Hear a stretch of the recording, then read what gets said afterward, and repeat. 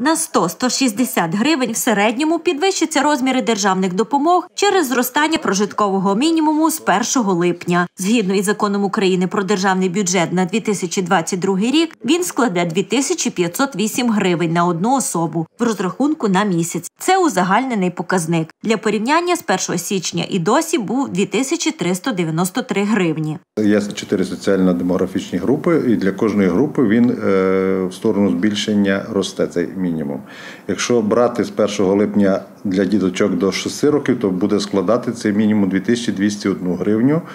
Для дітей віком від 6 до 18 років буде складати 2744 гривні.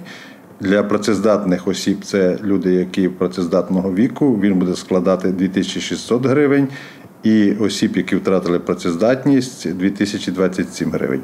Разом з прожитковим мінімумом з липня зростуть розміри оплати праці, що індексують: мінімальна пенсія за віком та аліменти, максимальна допомога по безробіттю, а також плата за видачу ліцензій та інші види державних допомог. Усі перерахують автоматично. Допомога в зв'язку з вагітністю та пологами зросте до 650 гривень для тих громадян, які отримують цю допомогу через органи соціального захисту. Але е, одноразова виплата при народженні не змінюється відповідно 10 тисяч 320 гривень.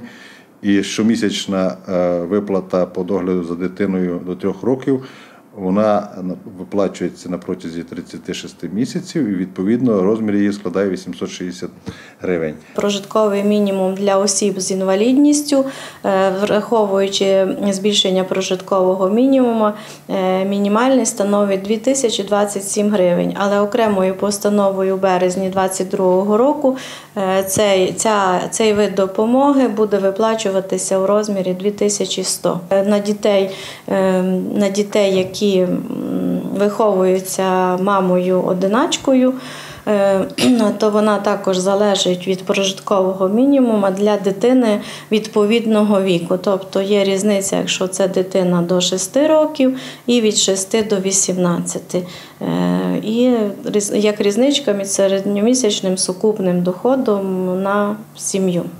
Понад 107 тисяч закарпатців охоплені наразі різними видами допомог. Через першочергові потреби ЗСУ та нерівномірне наповнення держбюджету бувають кількаденні затримки з виплатами. Працівники соцзахисту просять з розумінням до цього відноситися. Варто додати, зростання прожиткового мінімуму не впливає на розмір виплат внутрішньо переміщеним особам, а їх у краї наразі понад 155,5 тисяч осіб, які отримують різні види допомог.